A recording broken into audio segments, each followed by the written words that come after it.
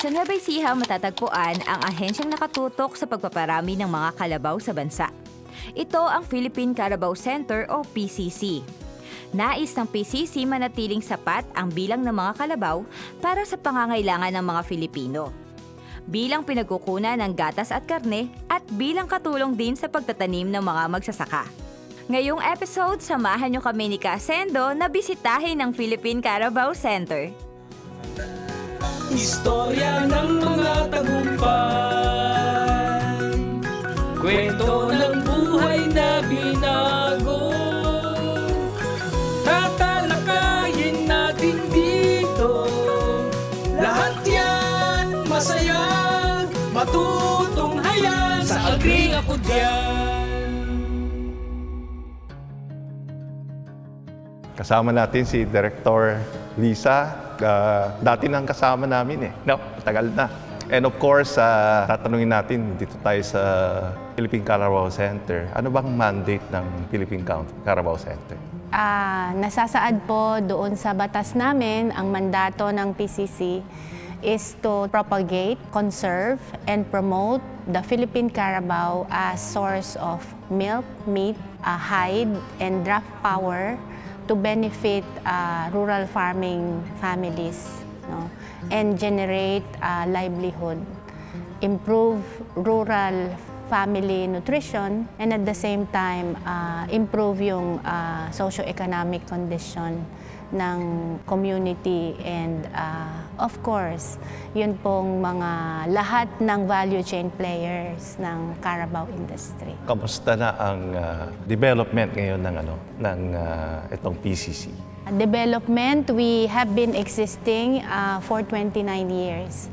And uh, gusto po naming sabihin, uh, yung development po nung Carabao subsector of the livestock industry has been improving in terms of uh, the genetic um, merit po ng kalabaw sa Pilipinas. Ibig sabihin, nag improve yung lahi niya bilang dual-purpose animal. At makikita po natin yung kanilang uh, contribution doon sa pagdami ng locally produced na gatas. Dati po, uh, mahina, no? Parang 6% lang ang ready-to-drink milk. Sa tulong po ng industry players, 23% na po ang ating uh, sufficiency. Yung improvement po, sana i-focus natin doon sa may competitive advantage ang Pilipinas. At sasabihin po natin, sa dami po ng kalabaw, 2.8 million sa Pilipinas, kailangan natin silang uh, i-improve para maging economic instrument po sa kanayunan dahil doon sila madami at maraming nag-aalaga sa kanila. Gusto rin naming sabihin, after 29 years, may makikita na po kayong negosyante na pinaunlad yung kanilang buhay dahil naniwala na uh, pwedeng asahan yung pangangalabaw pag-produce ng gatas, pag-produce ng karne, para sa ganon mapaaral yung anak, ma they attend uh, to their health needs, and overall, tayo naman bilang magulang, ang gusto natin is mapabuti yung buhay ng ating mga anak. We have good uh, stories to tell. Yun po yung gusto naming message after 29 years. In counting, we want to really uh, serve the Carabao industry by way of creating viable uh, enterprises para po siyang maging dahilan para sabihin na ang ganda ng suporta ng gobyerno sa Philippine Carabao Center. Ang ginagawa po ng PCC is, uh, una, we deploy science by way of uh, developing uh, technologies na nakikita natin to address yung productivity ng kalabaw. Para po ma-achieve natin yung productivity, yung hayop dapat ma-improve siya genetically at nagpo-provide po tayo ng artificial insemination services and other uh, production uh, support services. We also assist doon sa health and nutrition nung kalabaw. But uh, more importantly, ang ginagawa po ng PCC is i-improve yung uh, capacity nung nag-aalaga at yung nakikita nating pwedeng magnegosyo salig sa kalabaw. Uh, dinevelop na po namin yung artificial insemination as a business nung mga AI technician. So 90% po ng AI service hindi na po si PCC ang gumagawa, rather uh, the private sector po na siyang nag-aalaga ng mga breeding requirements ng mga nangangalabaw. Hindi lang dito sa Nueva Ecija, sa buong Pilipinas po. So, so far yung genetic ng uh, uh, ginawa nyo, na- na-upgrade talaga yung mga nag-aalaga. Is- Opo, Isang opo. maganda yun. No? Yun po And- kasi yung ano, yun po yung ah, kung walang production base that is ah, being sustained by genetic improvement, pag-unlad ng lahi ng kalabaw, wala po tayong iba pang negosyong pwedeng... So, so yung dati, kunyari, yung milk production dati, ilan litro, ngayon ilan litro na Ay, ang opo. lumalabas. Opo. Dito po sa Nueva Ecija, nag-umpisa kami sa dalawang litro Yeah. kada isa, isang ulo ng kalabaw. Ngayon po, dahil mas magaling po sila mag-alaga, pumapalo po ng 8 to 10 liters per head. No? Per day. per day. So, aaminin po ba namin na mas magaling sila sa amin? Ah, to a certain extent, opo. Kasi, ah, ano po yun eh, yun po yung kinabubuhay nila. And ah, we are proud dahil win-win po yung sitwasyon. Sa akin, ang definition po ng win-win is, ang unang win is W-I-N, ang susunod na win is W-E-A-N, pag-awat. Ang palagi po naming sinasabi, panalo na po kayo. 'Di ba? Yun pong hinahangad ng PCC na umunlad yung buhay nyo dahil salig sa negosyo sa Kalabaw, panalo na po kayo. You are earning at least 500 pesos per head per day. Hindi po kami kumikita ng ganun sa sweldo sa gobyerno. Pag po nananalo na kayo, binibigyan nyo kami ng opportunity to move to the next organization and to the next community dahil iaalaw nyo po kami to win. W-E-A-N. So when you're winning, you are allowing us to, to also allow other organizations to win. Thus, you are winning us from you dahil sa tingin po namin, kaya nyo na, magaling na po kayo. Pero after yung marketing, ah, paano kayo nag pumapasok para matulungan naman sila? Ah, okay. Sa marketing po, parte po ng genetic improvement, magpuproduce ka ng gatas. And malaki po yung naging issue namin dati niyan dahil medyo na late ng konti yung marketing support.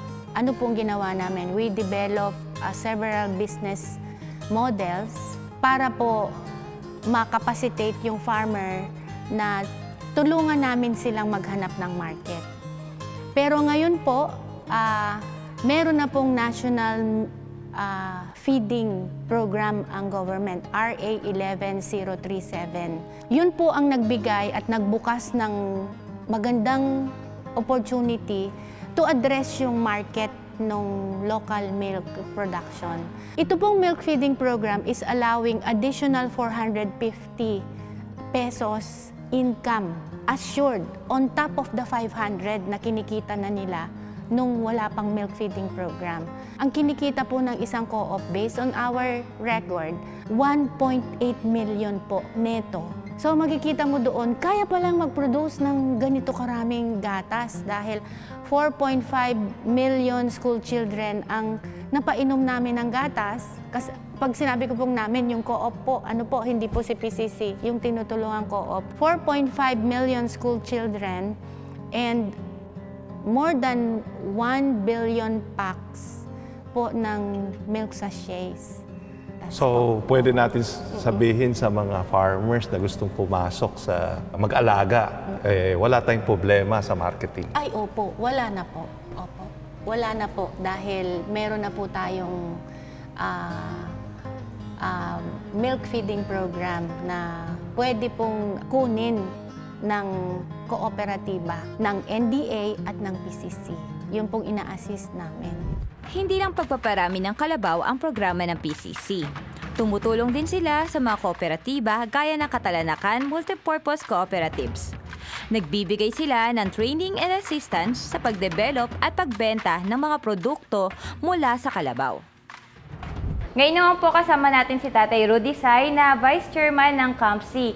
Ano ang ginagawa or paano tayo naging related sa PCC?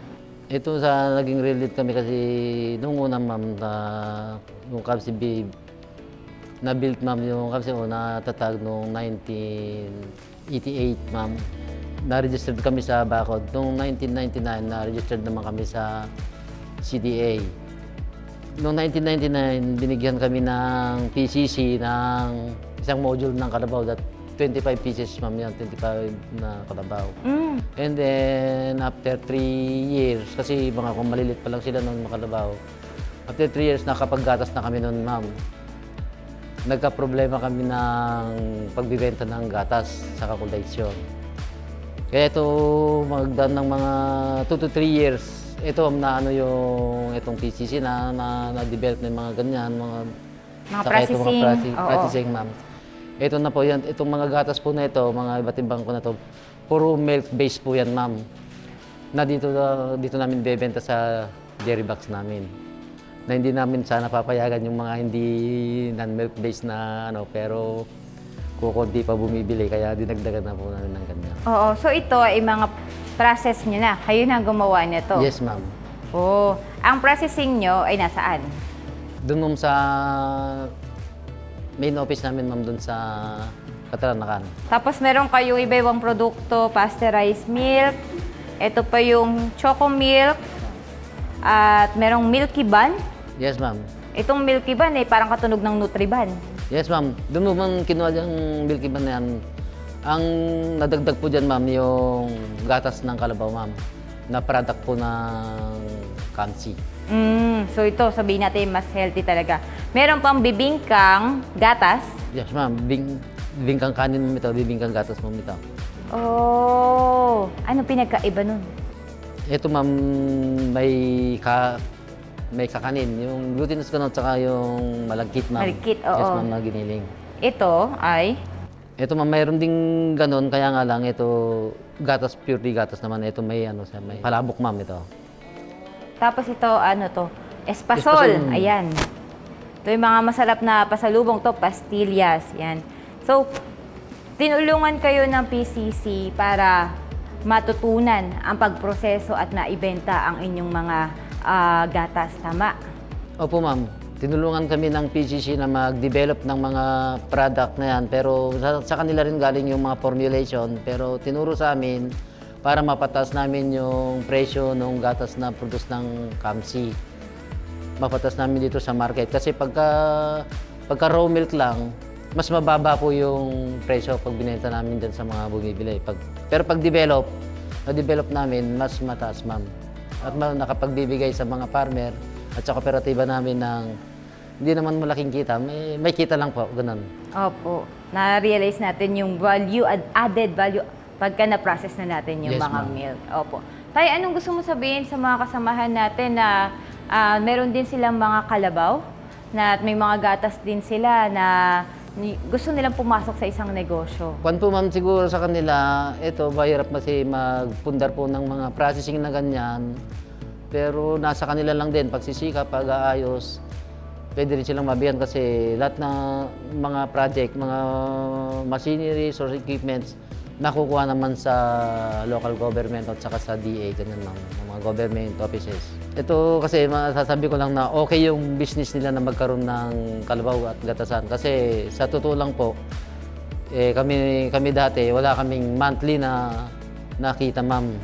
Dahil nagkaroon kami ng kalabaw, totoo nga po, pagod yung magkakalabaw. Pero daily, may kita kami sa araw-araw, ma'am. At ang sweldohan namin ay 15-30, parang sumisweldo. Yun pong isang kalabaw, ang average namin ay 5 kilos sa isang araw. 5 kilos sa production namin sa isang kalaw at 80, that is 400 a day, ma'am. Mm. Parang nag-uopisina na rin, no? O, ikon po yun, ma'am. Parang malapit na sa sa minimum Opo. wages, ma'am. Kaya ganun, ma'am. Eh, isang kalabaw pa lang yun. Pero pagka dalawa, ma'am, o di madodouble yun, 800 araw-araw mo. Eh kung paano kung lima, Mm. Sa ngayon po, ilan ang kalabaw niya? apat po, ma'am. Apat. O Ma'am, di... pero isa lang pa yung ginagatasan. Malapit lang mga anak yung tatlo. Oo. Di pag nanganak yun, eh, panibagong ano na naman, kita na naman yun. Opo, ma'am. Yung pagbibigay sa amin ng kalabaw ng PCC ay napakalaking tulong po sa amin. Kasi nung wala pa po kaming kalabaw, wala, wala pong kita. Pero nung nabigyan kami ng kalabaw at nagatas, nagatasan na namin, meron na kaming kita daily. Siyempre, may pamilya po kami, tapos may mga anak po kami na nag-aaral. Aral, yes, No? opo. Pambaon, ganun pa. Pangkusina na rin po. Sa pamilya. Kung, kung wala po yung kalabaw, eh, Siyempre, nandun ka lang nakatunga nga, walang dumarating. Pero nung magkaroon ng kalabaw, may pagod nga ang konti. Pero araw-araw may dumarating, ma'am. Yun ang naging kaibahan nung nagkaroon kami ng kalabaw. Ito po, lubos po kaming nagpapasalamat sa PCC sa ngalan po ng aming kooperatiba, KAMSI. Laki po ang pasalamat namin sa kanila kasi malaking tulong na ibigay nila sa amin. At kami yung tinatanaw namin ng utang na loob dito sa administrasyon po ng PCC.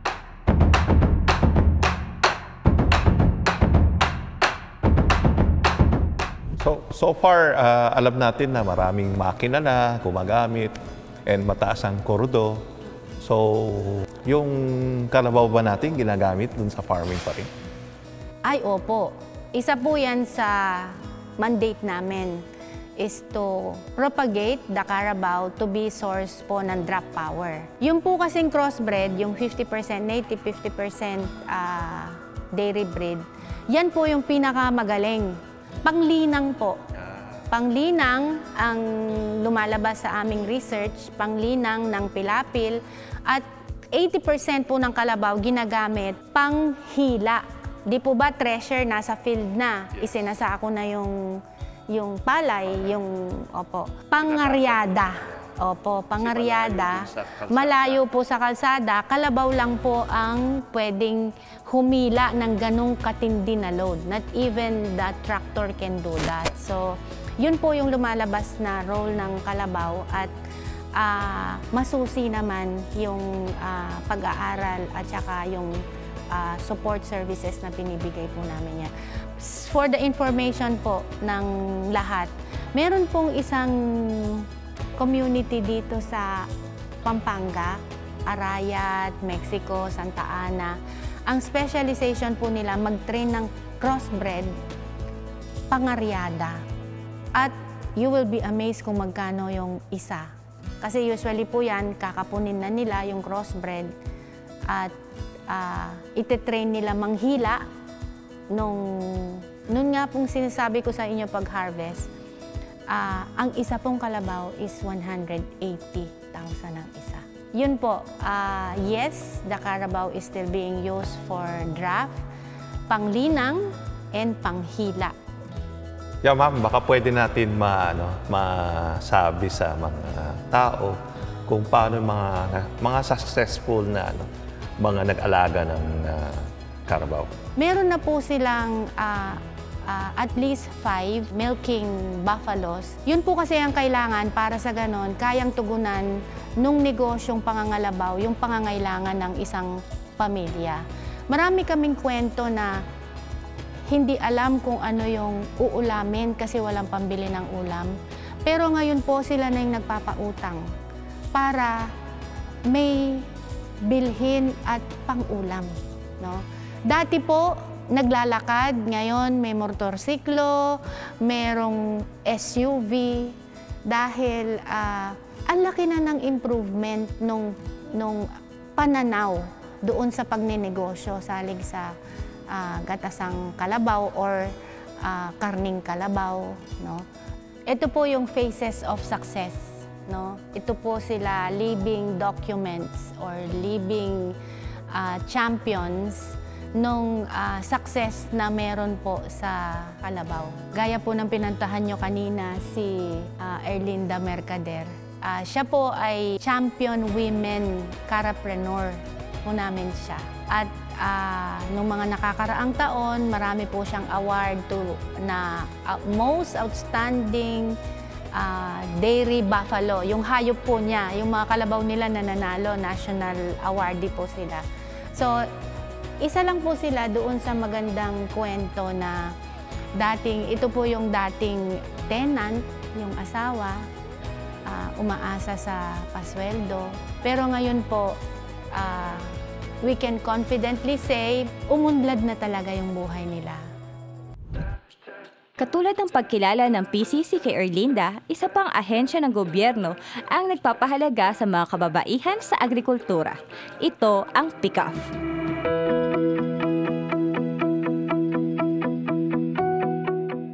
Mahalaga ang papel ng Philippine Council for Agriculture and Fisheries o PICAF sa ating kinabukasan. Sila ang nangangasiwa sa pagsasagawa ng mga polisiya at programa sa sektor ng agrikultura at pangisdaan. Layunin ng PICAF na siguruhing protektado ang kapakanan ng mga magsasaka at mangingisda. Prinoprotektahan namin ang karapatan ng mga magsasaka at mangingisda para makapag-participate sa buong proseso ng uh, social, political, and economic decision making. Itong mga nakaraang taon, tinutukan ng gobyerno ang kahalagahan ng mga kababaihan sa agrikultura na tradisyonal na dominado ng mga lalaking magsasaka. Dito nakapasok ang uh, dalawang babaeng committee chairpersons. At uh, sila po ay uh, aktibong nagko-contribute sa kasalukuyang policies para matugunan ang papel ng mga kababaihan sa agrikultura, hinahawakan na ng mga babaeng lider ang ilang mahalagang posisyon sa gobyerno. Kulang ang representasyon. Very evident ito kasi nga ngayong taon, ako lang ang babaeng RAFSI chair. So, isa yung indikasyon na kulang ang representasyon. Ang kababaihan or gender matters ay magiging regular na tatalakayin sa lahat ng councils. Kaugnay ito sa mga isyong nakakaapekto sa mga babaeng nasa bukirin.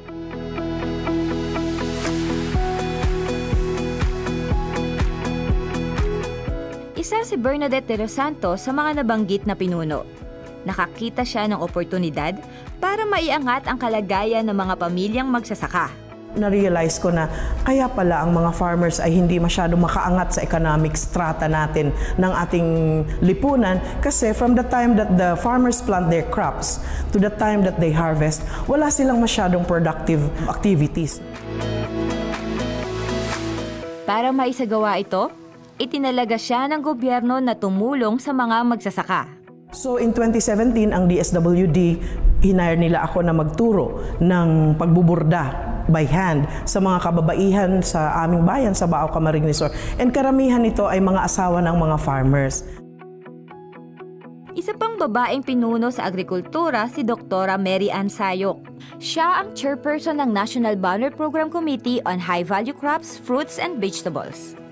Ang maganda sa committee na to, it's a public-private ano, partnership. It's a platform no, para sa mga iba't ibang stakeholders sa pribadong sektor at sa gobyerno.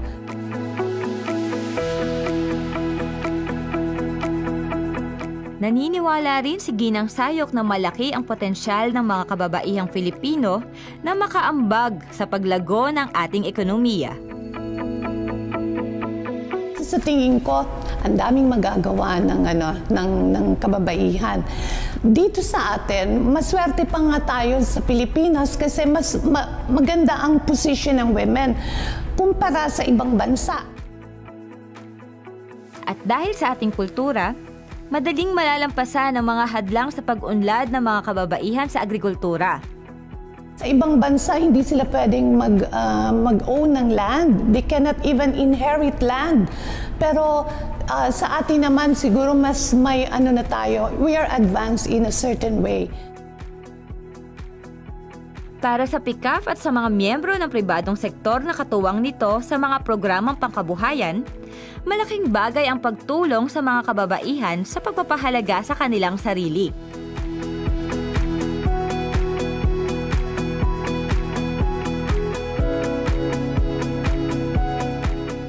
Napansin ko na pagka pala ang babae ay meron ding income at naiaambag niya sa pamilya, nabuboost ang kanyang confidence. Sa pagbibigay ng kapangyarihan sa mga kababaihan, mapapabilis ang pag-unlad ng bayan.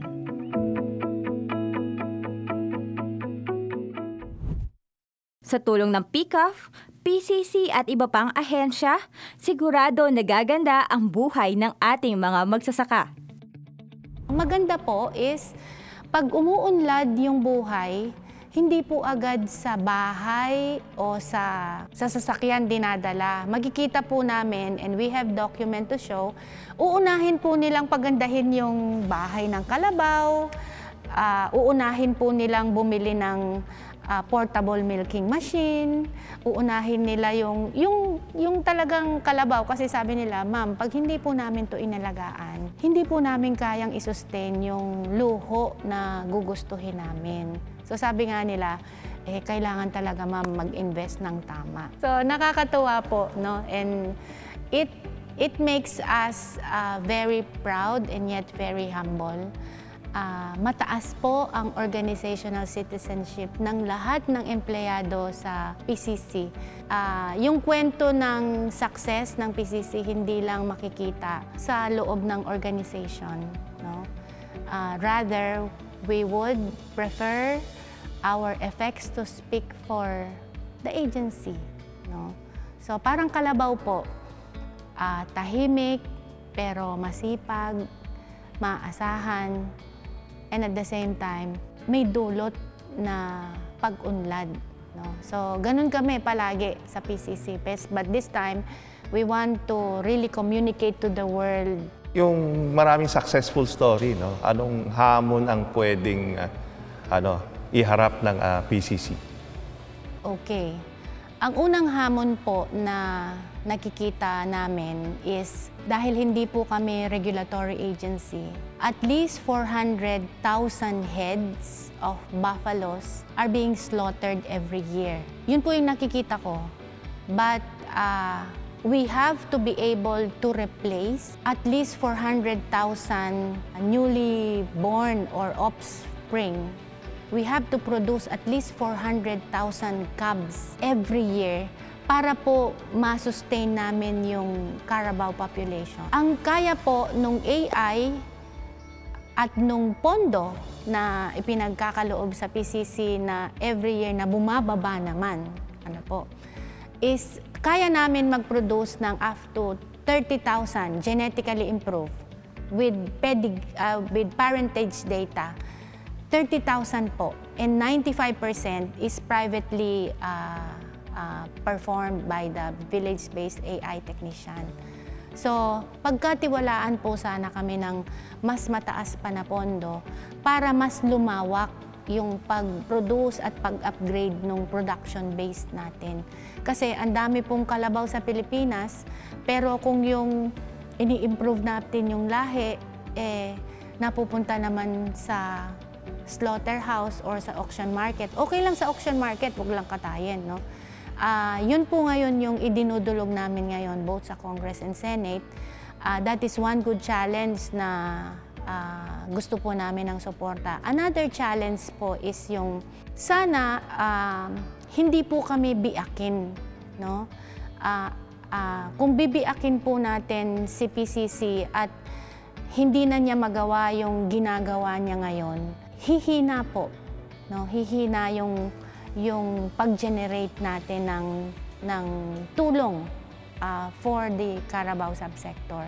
So, ang sinasabi ko nga pong palagi, kung hihiwain mo si PCC, isang bilog, hiwain mo sa gitna, ang makikita mo po yung kanyang expertise in genetic improvement. Yung kanyang expertise in building the confidence of rural farming families to think of themselves as negosyante. Palagay ko, dun po kami pwedeng sabihin, pwedeng mag-participate, pwedeng mag-contribute. So, hindi lang sa dagdag ng budget, kung hindi, support of the whole of government. Dahil pag sinabi mo pong Kalabaw, parang nakaatang siya lahat sa amin sa Philippine Carabao Center kasi yung pangalan namin, Philippine Carabao Center. Ngayon po, parang uh, I will be really uh, seeking the help of the industry. Kamukha po ninyo, no? To help us out at uh, ipakita po namin yung uh, simple, humble na na kinreate na namin na pagbabago sa pangangalabaw sa sa Pilipinas. Nagwawagi po ang ang Department of Agriculture through PCC, through NDA, through the other livestock agencies kasi kasama din si DTI, DSWD, si DepEd, si NEDA dahil siya po yung nag endorse ng mga projects namin for funding to to different uh, donor uh, agencies, no? COICA, ASHAR of Australia, JICA, ang laki pa ng support nung nag-uumpisa kami, no? And at the same time, uh, PL480. Kung meron pong project na successful ang Department of Agriculture sa PL480, gusto po naming sabihin isa kami doon dahil iningatan namin at ginamit ng tama yung pondo. Wala pong nasayang. No? So the, the office ay the building that you see na very proud dito po sa tabi ng, ng ang tawag namin LEAD Complex to honor our uh, first Executive Director, Libertado C. Cruz. LIB ang tawag sa kanya, Livestock Innovation uh, and Biotechnology Complex. No? Uh, that was donated by uh, the PL480. No? So ito po ay isang paraan para ipakita sa buong Pilipinas na hindi po kami nagpapabaya. No? So sabi ko nga po sa inyo, magaling po kaming uh, humingi ng tulong. And uh, salamat din sa tulong na binibigay ng Manila Times uh, to communicate to everybody yung payak pero very significant na contribution ng Philippine Carabao Center to Philippine agriculture. Mahalagang bahagi sa ating mga magsasaka ang kalabaw. Naging simbolo pa nga ito ng ating agrikultura kaya na makampante tayo na mananatili ito sa ating kabuhayan dahil sa pangangalaga ng isang ahensya. Agree ako dyan!